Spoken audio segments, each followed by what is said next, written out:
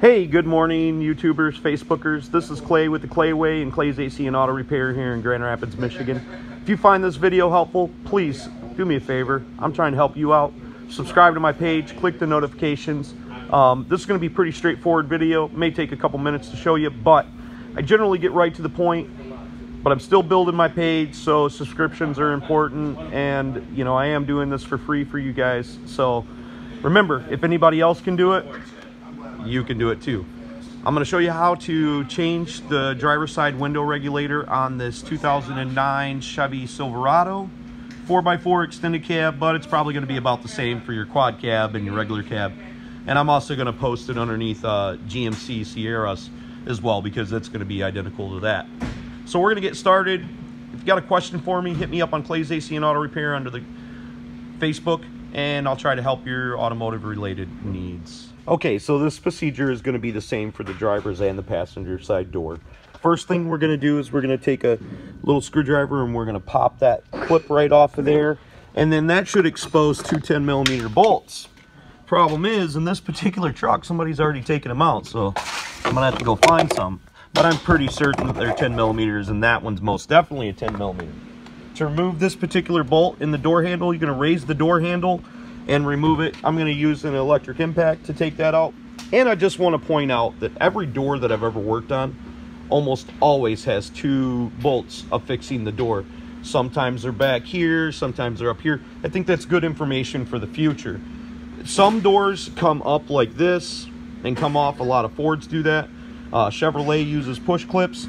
So you're going to take a body tool and you're going to pull it away and you should be able to remove the door rather successfully and easily. So to remove the door easily, we're going to go ahead and just pull it back and you can get your, once you've got it removed a little bit either with the body tool or whatever, you can get your hand back here and you can feel these little clips and you want to work your way around the door just gently pulling it because if there's something else affixing it say like this cover has to come off that I I think it does um, then you'll know that there's something there. You don't want to it should just stuff should just pop off and that one flew that way.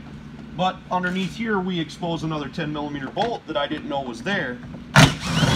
So we're gonna go ahead and remove that.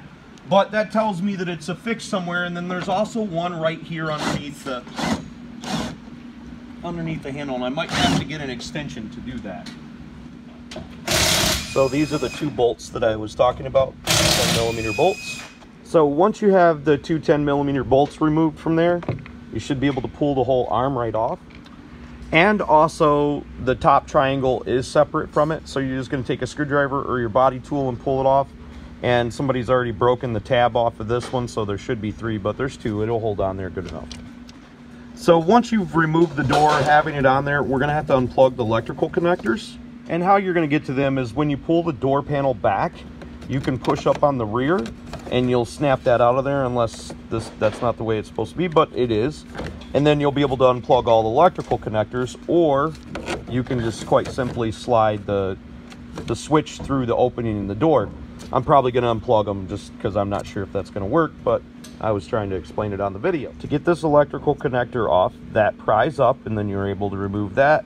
This one pushes down and then you're able to remove that. Now we can successfully remove the window trim panel. Now, because I'm believing that the window regulator is bad, we're going to go ahead and plug the window switch back in, turn our key on, work our window up and down and see what's happening. So if you're watching for the door panel segment, that segment's pretty much concluded. Um, the only other thing that you would have to do to take the door panel off is remove the screws that hold your handle on. And they're back here, and I believe they were 8 millimeter. I'm not taking the actual door panel off completely off because we're just doing a window regulator. So now we've turned the key on, and we've checked our regulator, and it seems seized. More than likely, we're going to find, and I'm going to go ahead and remove this, we're going to find that these cables are busted so it's going to need a new regulator and I'll show you what screws to take out and how to get it out so forth and so on. So first thing we're going to do is we're going to remove three 10 millimeter screws and I think there's supposed to be one here that's obviously missing. Somebody, some kind of hack's been in here and worked on it right there and then that bracket will come off and that's the bracket that holds the door on. So to remove the bracket, lift up on the bracket, turn it, and then you'll be able to pull it away. Next thing we're going to do is we're to remove six 10 millimeter screws and there's a couple little nuts right there. Two there, one, two, then another one there, and then one underneath that switch right there. Now we're gonna go ahead and remove the connector that connects the window motor regulator wiring harness. Okay, so during the reinstallation process, you're gonna just leave these bolts, these two screws right here loose. That allows you to set the window inside there.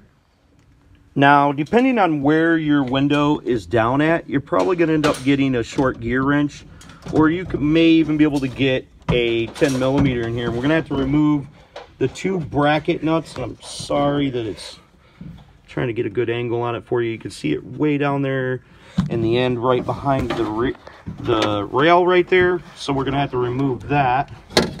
Camera focus a little bit. So we're to remove that one there. And we're also to do that. And that'll allow us to lift the window out of the tracking system.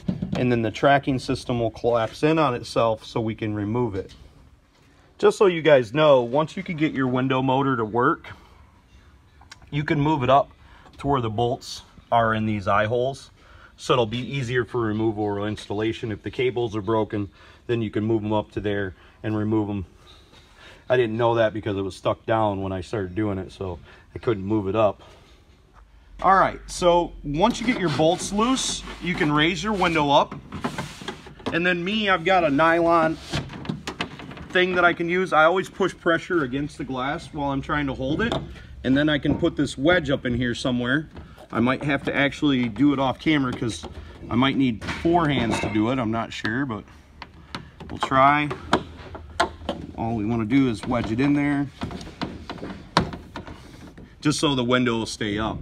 Okay, now that you've got your window up and secured, you can actually remove your window motor regulator.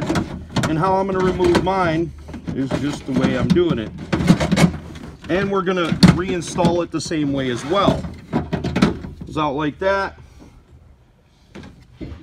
Okay with your window regulator removed generally you can see that these cables are broken or bound I would assume that this particular one the cabling separated inside the motor track and that's why it went bad. But that's a really common problem with these. I'm going to show you just me reinstalling this and show you how you get it in there and then I think the rest of it you can pretty much handle. So the part number for this particular vehicle is a Dorman 741443. That's for the passenger side extended cab Chevy Silverado or GMC Sierra.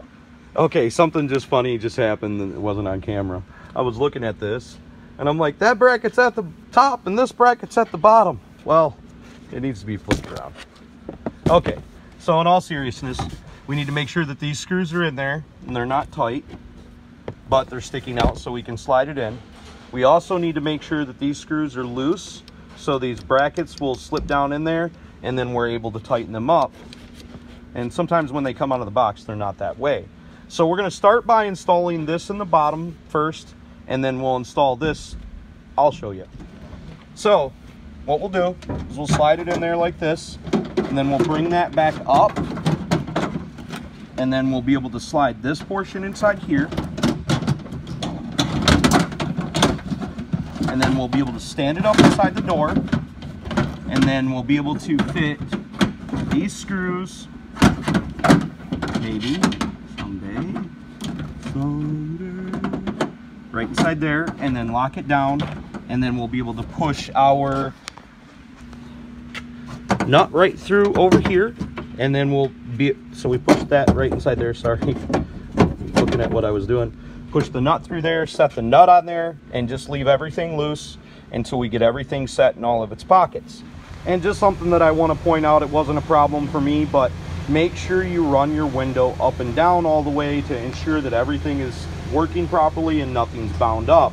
You can get binds in your channels where it runs. Be really careful. They don't move them if you don't have to. Okay, another thing during reinstallation, make sure that all your clips are actually inside your door before you go to put them in. Make sure there's none stuck in the surrounding spots. If they are, take them out, put them in the door plastic, and you should be good. Now you can reassemble it. Okay, so with our new window motor installed, we can move the window up and allow us easier access at the little 10 millimeter bolts. That pretty much concludes installing the window regulator on this. So you're just gonna put it back together. If this video was helpful, please subscribe, click the notification, share my videos, send me your nice comments, all that jazz. If you got a question for me, hit me up on Clay's AC and Auto Repair on the Facebook. God bless you guys. Remember, if anybody else can do it, you can do it too.